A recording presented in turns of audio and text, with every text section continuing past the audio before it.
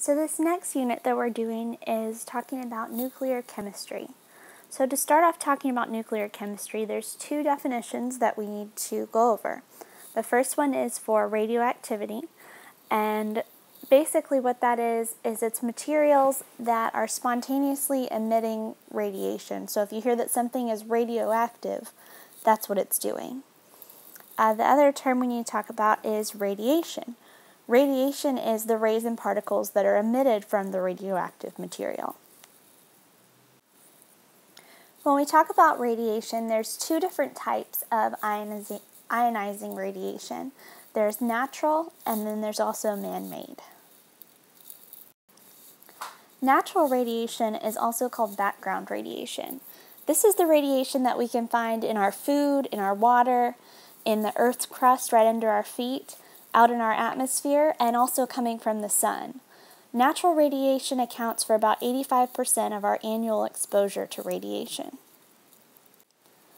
Man made radiation, on the other hand, comes from sources that people create. It accounts for about 15% of our annual exposure to radiation. Some examples of where you might be encountering radiation are from your television, from any kind of medical x rays that you've gotten, from your smoke detectors in your house, those give off a little bit of radiation. Uh, from lantern mantles, if you've ever used those camping lanterns. Uh, from nuclear medicine, like the type that people with chemotherapy get. From tobacco. And also from some building materials, those can emit radiation as well. Radioactive decay is the process by which unstable atoms become stable by emitting radiation. So as you can see in this example, we're starting with uranium, that's what U stands for, and as it goes through the radioactive decay process, it's actually becoming different elements. And you can see that their atomic number is getting smaller as you go down. Now we're going to talk about three different types of radiation. The first type of radiation we'll talk about is called alpha radiation. Alpha radiation particles are made up of two protons and two neutrons. That gives them a charge of positive 2. Here's an example nuclear equation that we can look at that has alpha radiation happening. So as you can see, what we're starting with is radium, Ra, and then it's going to go through alpha radiation and give off what we call an alpha particle. An alpha particle you'll usually see uh, denoted as He, like the helium atom. And the reason for that is because it has an atomic number of 2, meaning it has two protons, and a mass number of 4, because remember we said there were two protons and two neutrons. If you add those up, that gives you 4 for the mass number. So it emits an alpha particle, and then the other thing that we have left over is now radon. And you can kind of see which element is going to be formed whenever you have a radiation happening.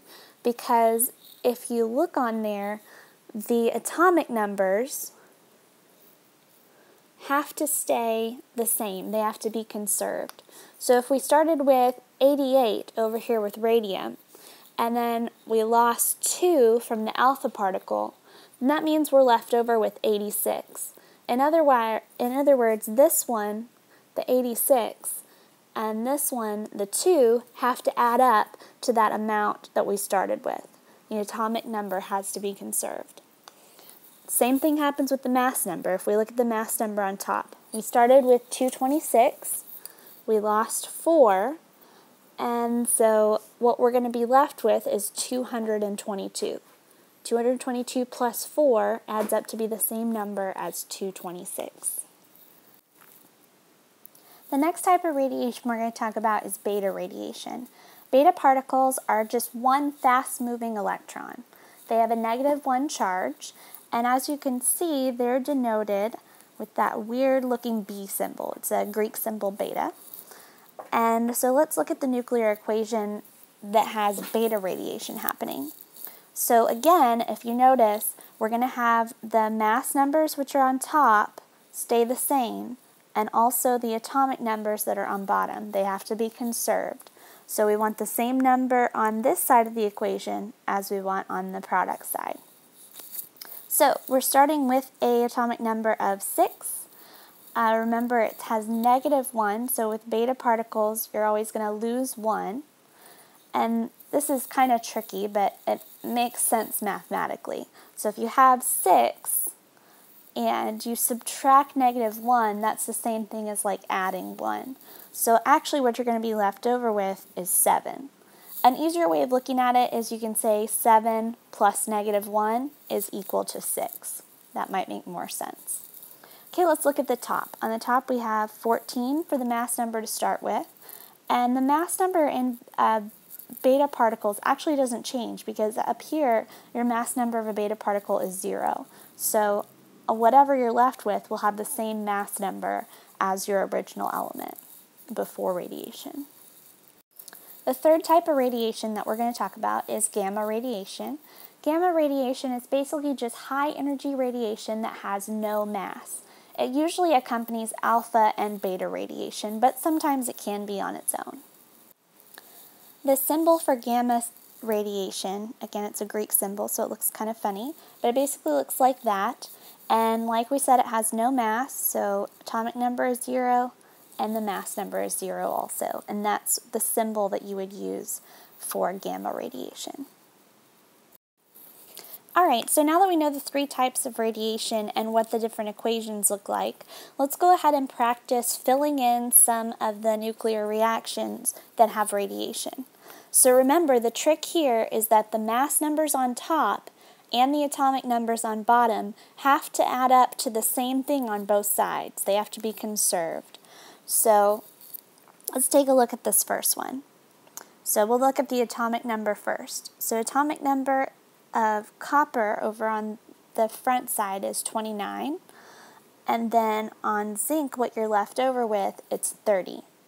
So over here, you're going to put whatever adds with 30 to make 29. So that would be negative 1 for the atomic number. Okay, and then let's look at the mass number. 66 on the first one, 66 on the second one. So there's no change there, so we'll just put 0. So then we look back at our, our uh, radiation particles and we see if there's one that has 0 on top for the mass number and negative 1 on bottom. And there is, that's beta radiation. All right, let's look at the second example. So this one, we don't know what we're going to have to start with, but we do know the parts of the radiation. So over here we've got, for the atomic number, 77 plus 2, so we know in our answer it's going to be 79. And on the top for the mass number, we have 181 plus 4. So on the top, we're going to have 185.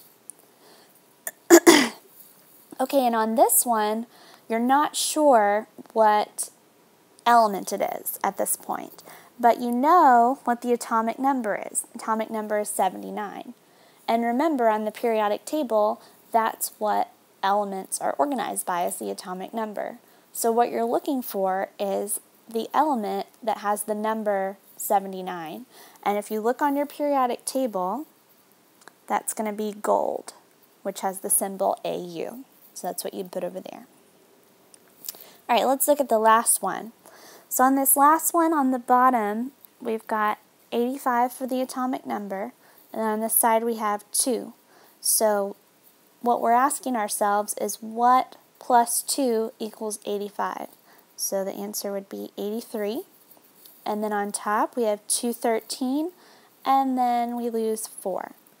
So what plus 4 equals 213 and that would be 209. And again, the way we figure out what element this is, is we look at the atomic number. So if you look on your periodic table, the element with the atomic number of 83 is going to be bismuth, which is Bi.